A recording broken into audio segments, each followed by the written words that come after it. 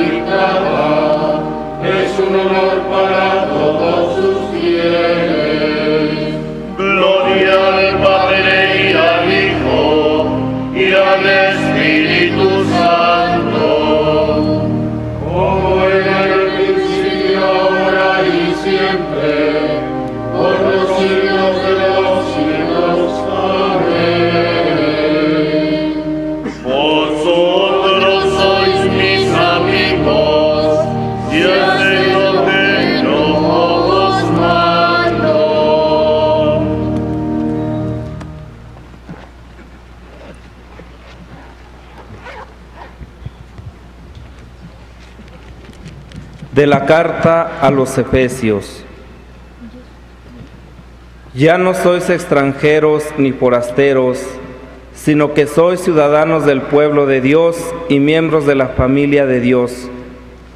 Estáis edificados sobre el cimiento de los apóstoles y profetas, y el mismo Cristo Jesús es la piedra angular. Por él, todo el edificio queda ensamblado y se va levantando hasta formar un templo consagrado al Señor. Por él también vosotros os vais integrando en la construcción para ser morada de Dios por el Espíritu.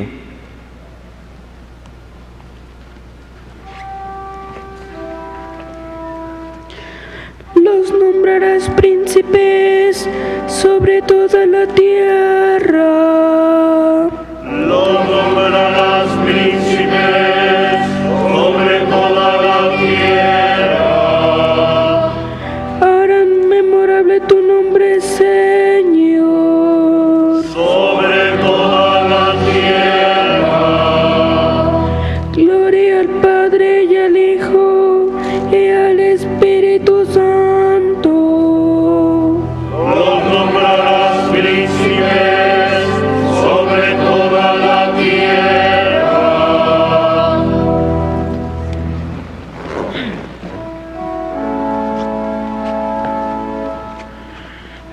Jesús vio a un hombre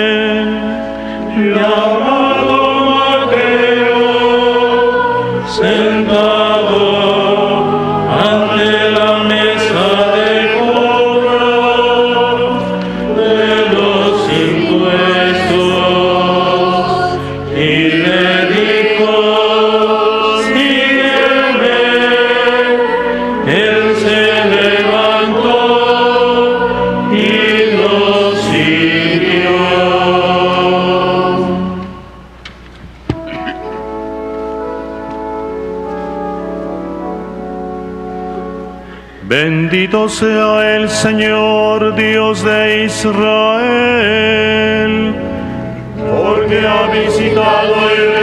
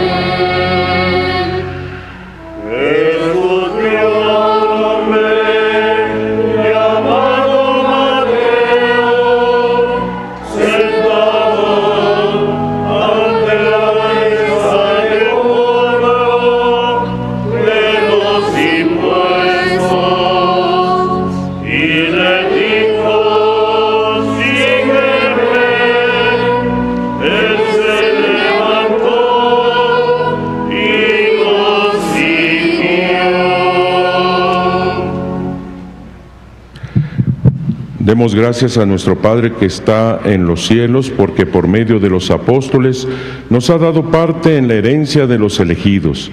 Y aclamémosle diciendo, el coro de los apóstoles te alaba, Señor.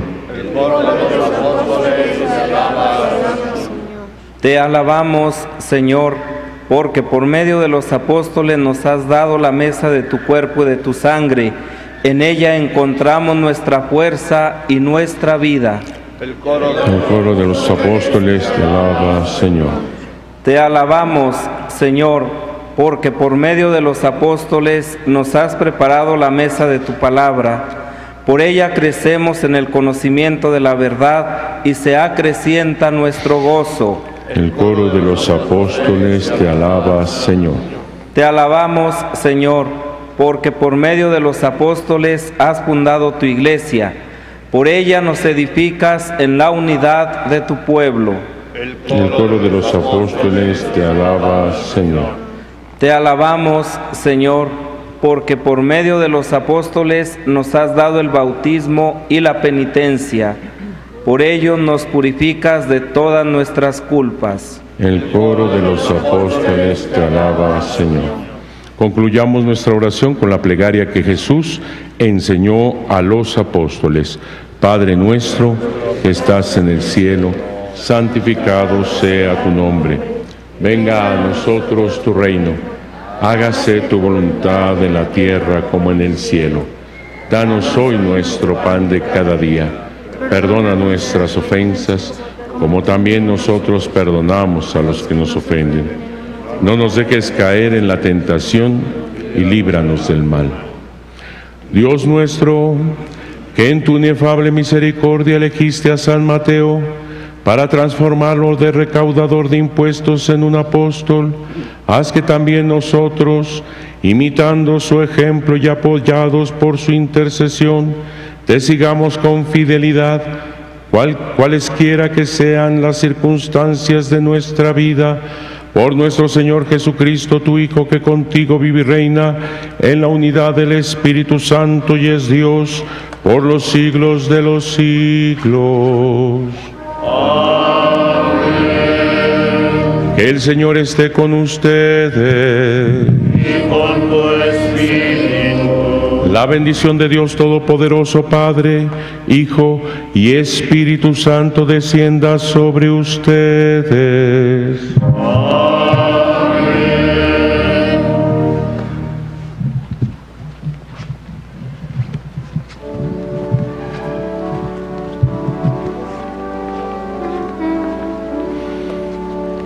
Bajo tu amparo nos acogemos.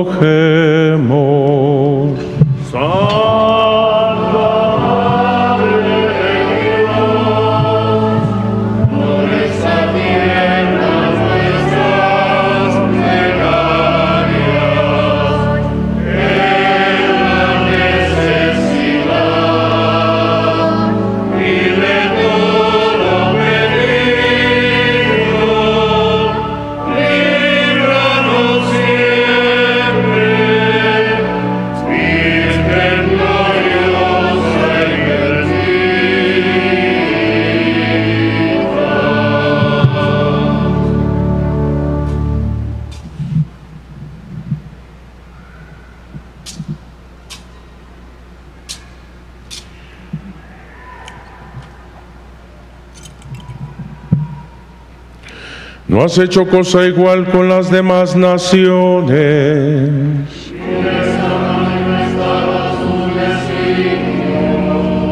Oremos, Padre de misericordia, que has puesto estos pueblos tuyos bajo la especial protección de la siempre Virgen María de Guadalupe, Madre de tu Hijo, concédenos por su intercesión profundizar en nuestra fe y buscar el progreso de América por caminos de justicia y de paz, por Jesucristo nuestro Señor.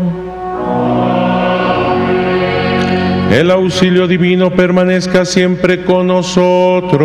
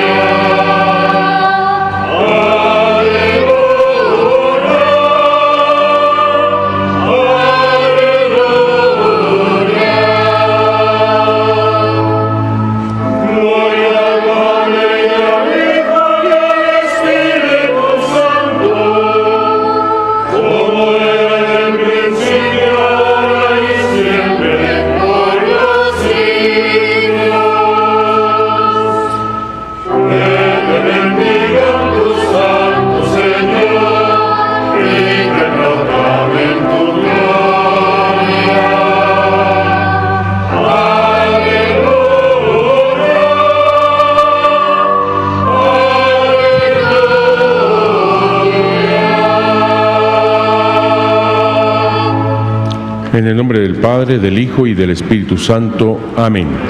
La gracia y la paz de parte de Dios nuestro Padre y de Jesucristo el Señor estén con todos ustedes. Muy buenos días hermanos, qué bueno que estamos en esta casita sagrada de Santa María de Guadalupe. Como en estas misas pedimos siempre por nuestros bienhechores tanto del cabildo como de la basílica, bienhechores vivos y difuntos.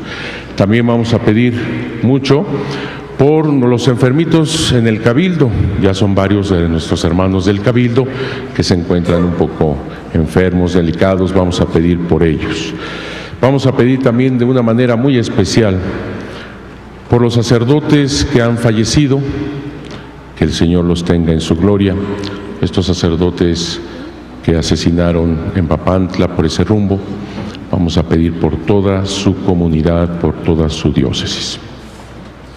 Vamos a pedir perdón por nuestros pecados, por todo aquello que no fue conforme a la voluntad de Dios. Yo confieso ante Dios Todopoderoso y ante ustedes, hermanos, que he pecado mucho de pensamiento, palabra, obra y omisión. Por mi culpa, por mi culpa, por mi gran culpa. Por eso ruego a Santa María, siempre Virgen, a los ángeles, a los santos y a ustedes, hermanos, que intercedan por mí ante Dios nuestro Señor. Dios Todopoderoso tenga misericordia de nosotros, perdone nuestros pecados y nos lleve a la vida eterna.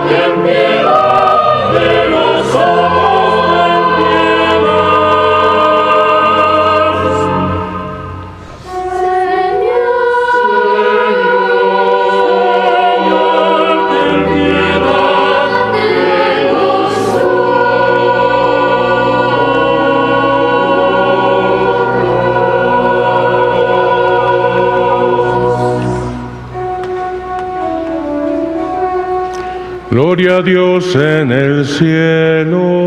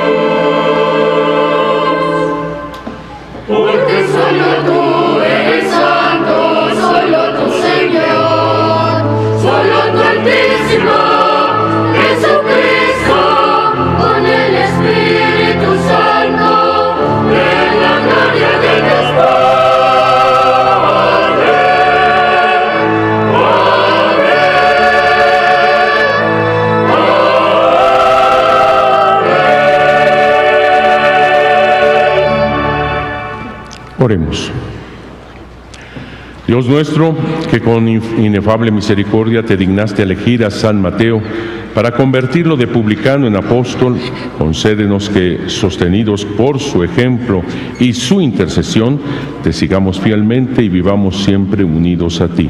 Por nuestro Señor Jesucristo, tu Hijo, que contigo vive y reina en la unidad del Espíritu Santo y es Dios por los siglos de los siglos. Amén. Si gustan sentarse. La primera lectura muy, muy hermosa, que nos habla prácticamente, es una síntesis de lo que es la iglesia, con sus carismas, con toda su fuerza, con ese espíritu dentro de la iglesia. Y la lectura del Evangelio nos habla de la vocación precisamente de San Mateo Apóstol. Vamos a escuchar.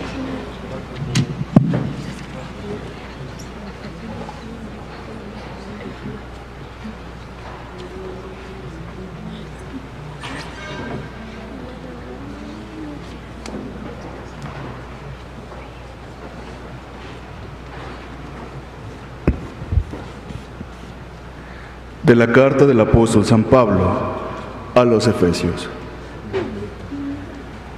Hermanos, yo, Pablo, prisionero por la causa del Señor, los exhorto a que lleven una vida digna del llamamiento que han recibido. Sean pues humildes y amables. Sean comprensivos y soportense mutuamente con amor. Esfuércense en mantenerse unidos en el Espíritu con el vínculo de la paz. Porque no hay más que un solo cuerpo y un solo espíritu, como es también solo una la esperanza del llamamiento que ustedes han recibido. Un solo Señor, una sola fe, un solo bautismo, un solo Dios y Padre de todos, que reina sobre todos, actúa a través de todos y vive en todos. Cada uno de nosotros ha recibido la gracia en la medida en que Cristo se la ha dado. Él fue quien concedió a unos ser apóstoles, a otros ser profetas, a otros ser evangelizadores, a otros ser pastores y maestros. Y esto para capacitar a los fieles, a fin de que, desempeñando debidamente su tarea, construyan el cuerpo de Cristo hasta que todos lleguemos a estar unidos en la fe y en el conocimiento del Hijo de Dios, y lleguemos a ser hombres perfectos, que alcancemos en todas sus dimensiones la plenitud de Cristo. Palabra de Dios. Te Señor.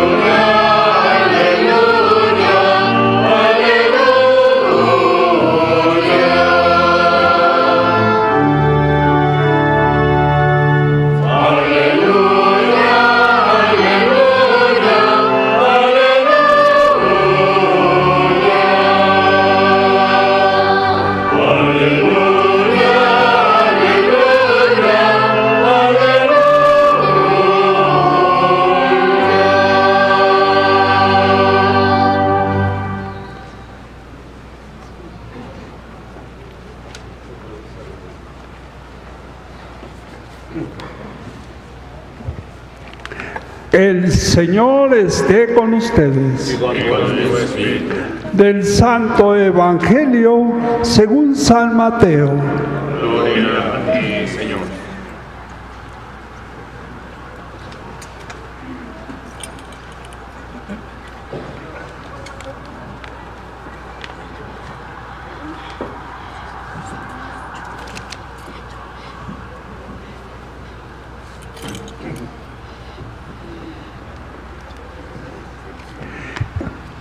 Aquel tiempo, Jesús vio a un hombre llamado Mateo, sentado a su mesa de recaudador de impuestos, y le dijo, sígueme.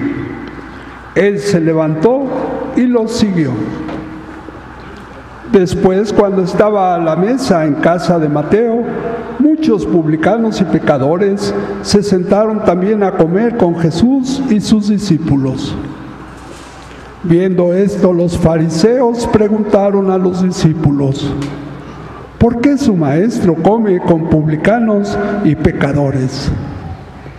Jesús los oyó y les dijo, no son los sanos los que necesitan de médico, sino los enfermos. Vayan pues y aprendan lo que significa yo quiero misericordia y no sacrificios. Yo no he venido a llamar a los justos, sino a los pecadores. Palabra del Señor.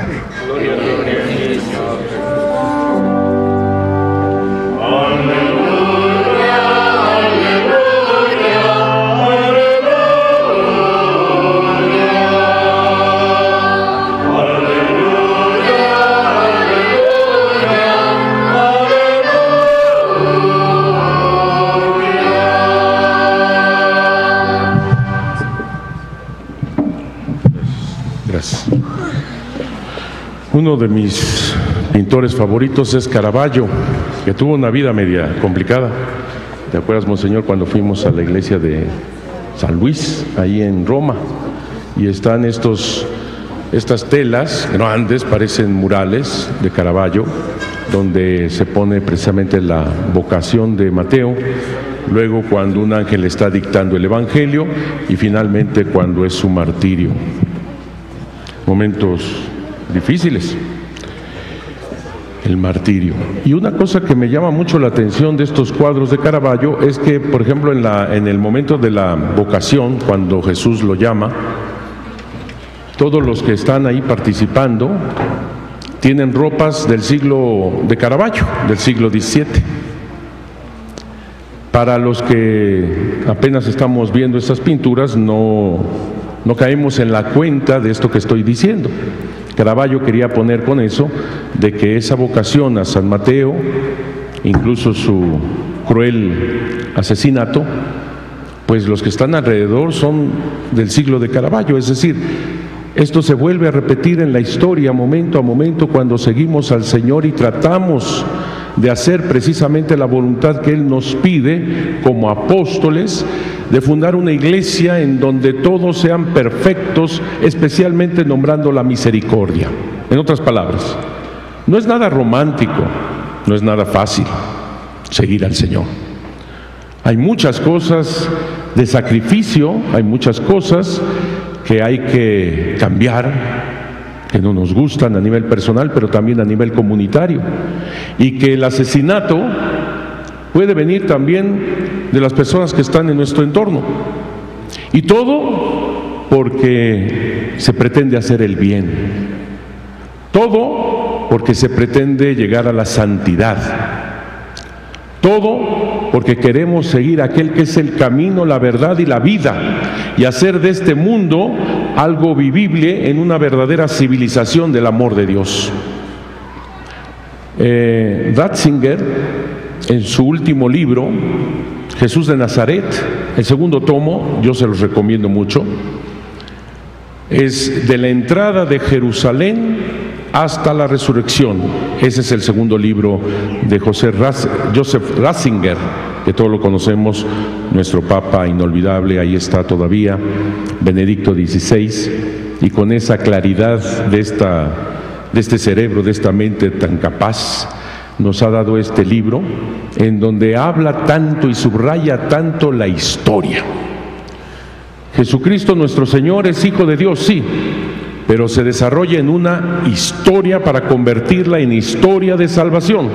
Y es en esta historia en donde se busca crear esta nueva civilización del amor de Dios. Lógicamente él está pensando en algunos que están en contra de la iglesia, la persiguen, diciendo que todo lo que la iglesia propone es simplemente una ficción. Y surge en el fondo por el gran temor, la gran angustia del ser humano, especialmente ante la muerte. Sin embargo, ahí el Papa está poniendo las cosas bien claras de que no es ninguna ficción. Nadie da la vida por una ficción. Esto es real, es histórico. Jesús es histórico, es el Señor del tiempo, pero que ese tiempo lo transforma en historia de salvación va más allá de este tiempo, evidentemente. Pero surge, su base, su fundamento, su inicio es en la historia, es real, es algo cierto. Lo mismo San Mateo. No está dando su vida por una fábula, por un cuento, sino que está dando su vida por algo real, Jesucristo nuestro Señor real, y que es real el, hermano que tengo a mi lado, y es real lo que tengo que sentir en, en mi corazón de que es mi hermano, y es real que Dios nos ha dado este, este, esta gran misión de ser apóstoles enviados por parte de Él para que seamos ese instrumento de su amor y sea su aliento, su palabra, su acción, esa acción del Espíritu Santo que escuchamos en la primera que transforme el corazón real. En otras palabras, de ti que me estás escuchando, pueden surgir las cosas más terribles asesinar a alguien, suicidarte, matar al más inocente en el vientre de su madre. Pueden, pueden, surgir las cosas más espantosas de ese ser humano en donde ya Jesucristo nuestro Señor está ahí clavado desde las semillas del verbo. En otras palabras, cada ser humano que me está escuchando es imagen y semejanza de Dios. No es un animal, no somos un animal. Somos hechos para la vida eterna, somos imagen y semejanza de Dios. Y así como pueden surgir las cosas más terribles, pueden surgir las cosas más hermosas. Pueden surgir las cosas más fraternas, más gozosas. Aquellas personas que dan su vida por el otro. Aquellas personas que sin conocer a la persona a la cual están ayudando, dan hasta su propia vida por la vida del otro y están haciendo con ello lo que nos pide el Señor. Hacer de esta historia real una historia de salvación. Pero esa historia real comienza en nuestro corazón. Somos reales. Somos reales. Y de este corazón donde pueden surgir tantos males, pueden surgir las cosas más hermosas, más sublimes. Es una decisión, es una voluntad de parte nuestra. Por eso el Señor nos ha dejado con la libertad necesaria para que esta voluntad se transforme verdaderamente en amor. ¿Qué tendría Jesús, amor, como para decirle a Mateo, ven, sígueme? Y él deja todo, deja todo ¿Qué mirada tendría Jesús el amor? ¿Qué mirada tendría? ¿Qué forma, qué fuerza tendría su voz, su aliento como para llegar hasta el corazón de Mateo y dejarlo absolutamente todo, entregar toda su vida al Señor en, una, en un momento tan sublime, tan eterno e incluso llegar al martirio? Y él bendecir al Señor. Una de las cosas que los indígenas nos, nos ayudan a entender más y más es precisamente el signo que la Virgen de Guadalupe da al fraile Fray Juan de Sumarga para decir que esto es real, es histórico, es verdad. Dios ha venido aquí ante su pueblo. Él su palabra cuando dice, yo estaré con ustedes todos los días hasta el fin del mundo. No es un cuento la Virgen de Guadalupe, no es un cuentito, una ficción, no es cierto, es real. Viene Jesucristo en su inmaculado vientre y viene con la Santísima Virgen de Guadalupe del 9 al 12 de diciembre de 1531 y la señal para decirle que es verdad al obispo todo esto son las flores. Tú sabes que son esas flores crecidas en este cerro que tenemos aquí del Tepeyac. Un cerro muerto, pedregoso, salitroso, todo contrario, que significa la muerte. Y sin embargo, ahí Dios ha querido arraigar la vida. Pero si te fijas, volvemos con la mirada desde los indígenas, cómo nos ayudan a participar de todo lo que es la señal que da la Virgen Santísima ante el obispo, porque ella se somete a la voluntad del obispo. No se hace la famosa casita sagrada que ella pide, que tanto desea, sin la autoridad del obispo, sin la aprobación del obispo. Ah, pero también pidiéndole la ayuda a ese laico Juan Diego. Incluso la Virgen se somete al laico de tal manera que le dice, te te ruego, te suplico, hijito mío, socoyotito mío, que seas tú mi intercesor. Así que tenemos al consagrado obispo, tenemos al laico Juan Diego, tenemos las flores enraizadas en el suelo muerto que se vuelve paraíso y se vuelve vida. Y las flores para el indígena significan la voluntad de Dios, la voluntad divina. Y todavía más cuando entrega estas flores, signo de la presencia de Dios a través de Guadalupe, es cuando se imprima esta, esta imagen, porque esta es la original. He oído por ahí que, se, tiene, se tiene aquí una copia, eso no es cierto, eso es falso. Esta es la auténtica imagen de San Juan Diego, en la tilma de San Juan Diego, la imagen de la Virgen de Guadalupe en las manos del obispo. Esta, esta imagen. Ahí se imprime esta imagen hermosa de Santa María de Guadalupe que es señal. Así que te, fijas, todos los signos y muchos más, pero no hay mucho tiempo para decir todo esto en este momento. Pero dense cuenta cómo la señal de la realidad histórica, pero que se vuelve trascendente, es una realidad llena de símbolos, flores, vida, laico, consagrado, imagen donde tiene presente en el vientre de esta hermosa mujer de Adviento a Jesucristo nuestro Señor. En otras palabras, hermanos míos, la señal que ofrece Santa María de Guadalupe al obispo para decir que esto es totalmente cierto es la misma Iglesia Católica, con la verdad de Dios enraizada con los laicos y los consagrados, con una imagen que nos está presentando como centro a Jesucristo nuestro Señor. Le da como señal al final de cuentas con esas flores y con todos estos signos la iglesia católica, porque ella quiere, tanto desea, una casita sagrada, civilización del amor de Dios, iglesia, precisamente lo que nos presenta la primera lectura. Con sus carismas, con esa ayuda, con ese espíritu, para que todos seamos uno, una sola fe, un solo bautismo, un solo Dios, para que seamos esta iglesia y saque de este corazón muerto, pedregoso, salitroso, saque las flores de la vida de Dios.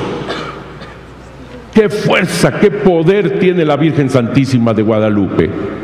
Tan grande que a muchos asusta y muchos quieren perseguirla y destruirla. Pero ahí está la verdad de Dios enraizada en esta tierra, en este tiempo, para hacerlo historia de salvación. Y ustedes que me están escuchando, y no solamente aquí los presentes, sino también los que a través de internet nos están escuchando, somos iglesia. Somos señal de parte de Dios que es cierto. Y tenemos el gozo grande, maravilloso, que nosotros podemos ser santos, perfectos, hijos de Dios y sacar lo mejor que está en nuestro mundo, en nuestra vida, en nuestro corazón, para que todos seamos esta nueva civilización del amor de Dios. No tengas miedo para sacar eso bueno que hay en tu corazón. No tengas miedo para cambiar, para convertirnos, para ser más y más y más de Dios a través de la Santísima Virgen de Guadalupe. Que Dios nos bendiga.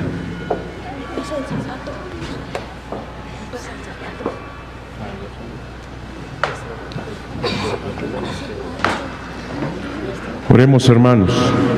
A Dios Padre Todopoderoso y fieles a la enseñanza apostólica, intercedamos por todos los hombres. Después de cada petición diremos, te rogamos Señor. Te rogamos, Señor, para que la iglesia, que recuerda hoy con veneración el martirio del apóstol y evangelista San Mateo, sea iluminada por su evangelio, fortalecida por su testimonio y ayudada por su intercesión. Oremos. Te rogamos Señor. Para que todos los hombres reciban el perdón de sus pecados, obtengan consuelo en sus sufrimientos y alcancen los bienes anunciados al mundo por los apóstoles de Jesucristo. Oremos. Te rogamos, Señor. Para que el Dios de misericordia revele el Evangelio de salvación a los que sufren ante las dudas o viven en la indiferencia. Oremos. Te rogamos, Señor. para que todos nosotros veamos protegidos por la oración de los apóstoles e iluminados por sus enseñanzas. Oremos. Te rogamos, Señor. Vamos a pedir por nuestros hermanos que fueron cruelmente asesinados por estos dos sacerdotes de Papantla, por su diócesis, por su obispo, por toda la feligresía.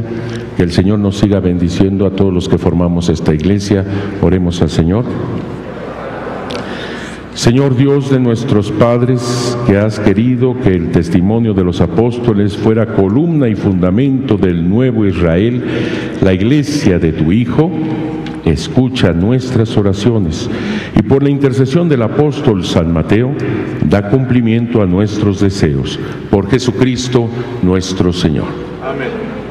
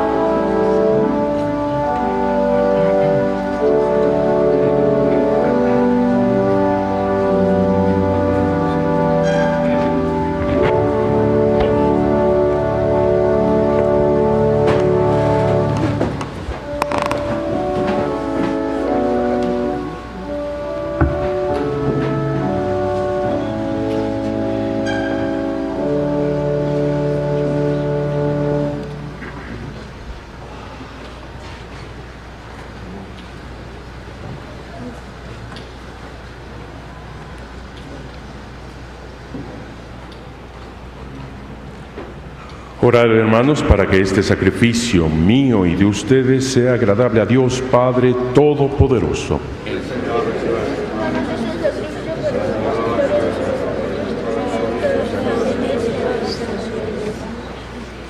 Al venerar la memoria de San Mateo, te presentamos, Señor, nuestras oraciones y ofrendas y te pedimos humildemente que mires con amor a tu iglesia, cuya fe alimentaste con la predicación de los apóstoles. Por Jesucristo nuestro Señor. Amén. Que el Señor esté con ustedes. Levantemos el corazón.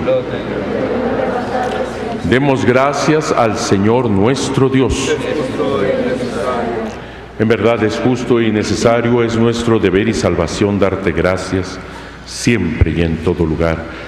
Señor Padre Santo, Dios Todopoderoso y Eterno, porque tú, Pastor Eterno, no abandonas a tu rebaño, sino que por medio de los santos apóstoles lo cuidas y lo proteges siempre, para que sea gobernado por aquellos mismos pastores que le diste como vicarios de tu iglesia. Por eso, con los ángeles y los arcángeles, con los tronos y dominaciones y con todos los coros celestiales, cantamos sin cesar el himno de tu gloria.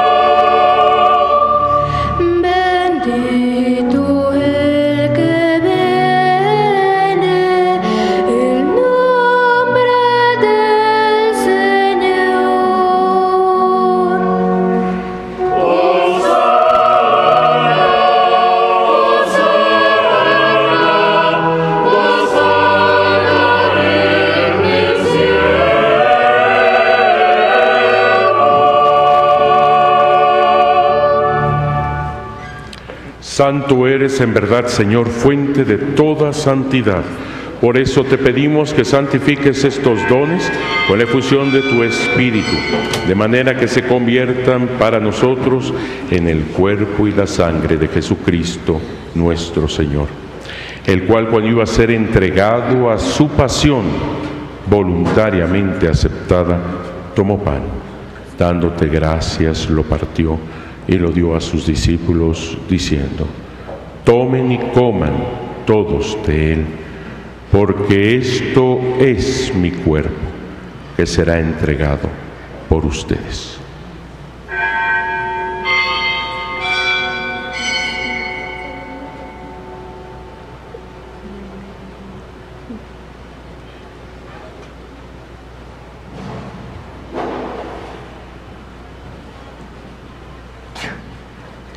Del mismo modo, acabada la cena, tomó el cáliz y dándote gracias de nuevo, lo pasó a sus discípulos diciendo, tomen y beban todos de él, porque este es el cáliz de mi sangre, sangre de la alianza nueva y eterna, que será derramada por ustedes y por muchos para el perdón de los pecados.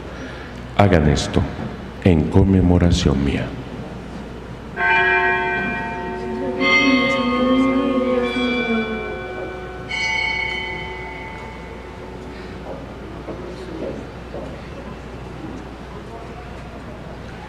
Este es el sacramento de nuestra fe.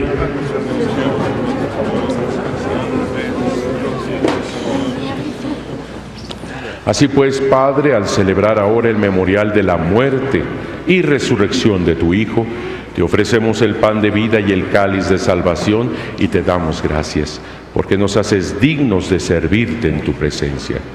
Te pedimos humildemente que el Espíritu Santo congregue en la unidad a cuantos participamos del cuerpo y sangre de Cristo. Acuérdate, Señor, de tu iglesia extendida por toda la tierra y con el Papa Francisco, con nuestro obispo Norberto y todos los pastores que cuidan de tu pueblo, llévala a su perfección por la caridad. Acuérdate también de nuestros hermanos que se durmieron en la esperanza de la resurrección y de todos los que han muerto en tu misericordia. Admítelos a contemplar la luz de tu rostro. Ten misericordia de todos nosotros.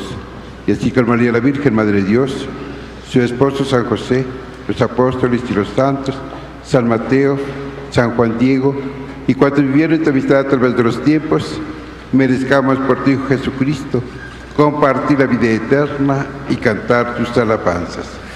Por Cristo con Él y en Él, a ti Dios Padre Omnipotente, en la unidad del Espíritu Santo, todo honor y toda gloria por los siglos de los siglos.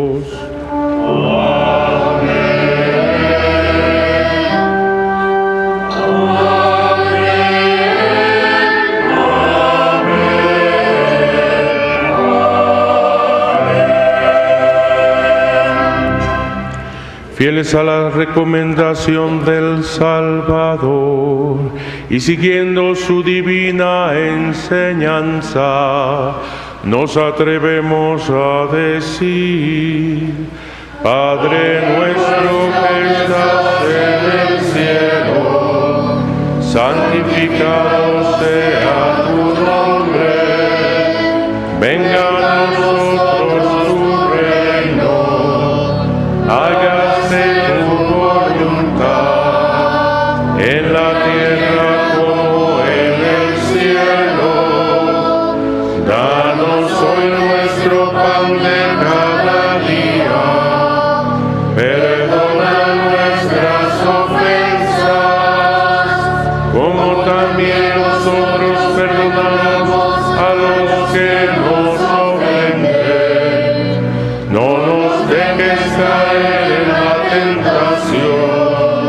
y líbranos del mal.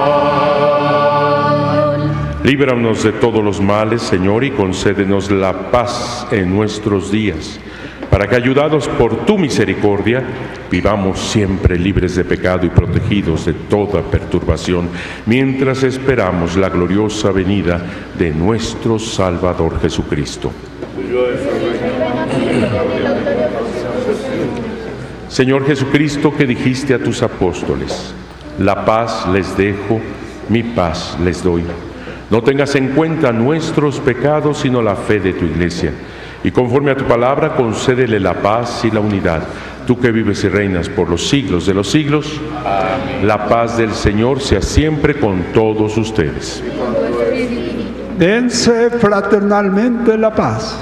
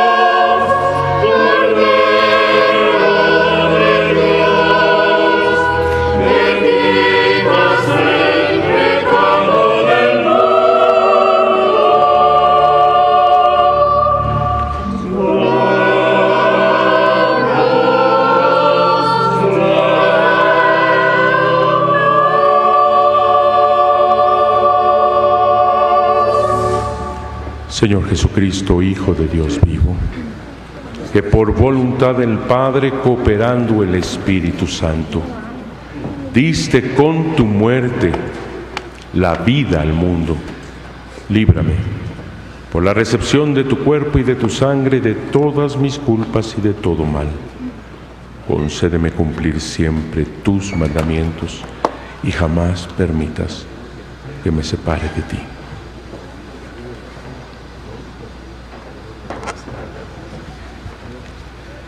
Este es Cristo el Cordero de Dios que quita el pecado del mundo. Dichosos los invitados a la cena del Señor. Señor, yo no soy digno de que entres en mi casa, pero una palabra tuya bastará para sanar.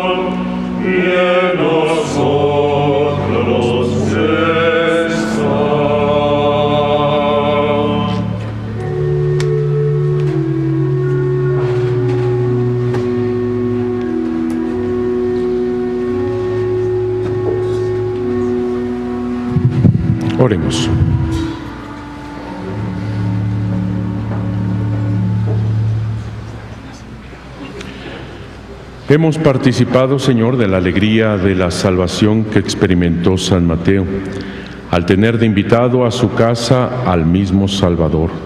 Concédenos nutrirnos siempre con el alimento de aquel que no ha venido a llamar a los justos, sino a los pecadores. Por Jesucristo nuestro Señor. Amén. Hermanos, queremos comunicarles que están disponibles los nichos para el depósito de cenizas en el columbario de Plaza Mariana. por lo que quienes quieran adquirir un nicho pueden pasar a la misma Plaza Mariana, enfrente de la Basílica, al otro lado del atrio, y conocer también el lugar donde podrían reposar sus seres queridos, a los pies de Santa María de Guadalupe, y junto a la imagen y reliquia de San Juan Pablo II. Gracias. Este también es el último aviso para las personas que quieran tener este conocimiento de la Virgen de Guadalupe en el curso breve que se está haciendo todos los miércoles como hoy en Capuchinas, de 5 a 7 de la tarde aquí en el Templo de Capuchinas, como les digo, todos los miércoles. Este es el último miércoles que aceptamos y sería septiembre, lo que resta, octubre y noviembre. Ojalá que nos acompañen para conocer más y mejor a la Virgen de Guadalupe y amar más y mejor a Jesucristo nuestro Señor. Que el Señor esté con ustedes. La bendición de Dios Todopoderoso, Padre, Hijo y Espíritu Santo, desciende y permanezca siempre con ustedes. La alegría del Señor sea nuestra fortaleza. Pueden ir en paz. Que tengan un día muy hermoso. Que Dios los bendiga mucho.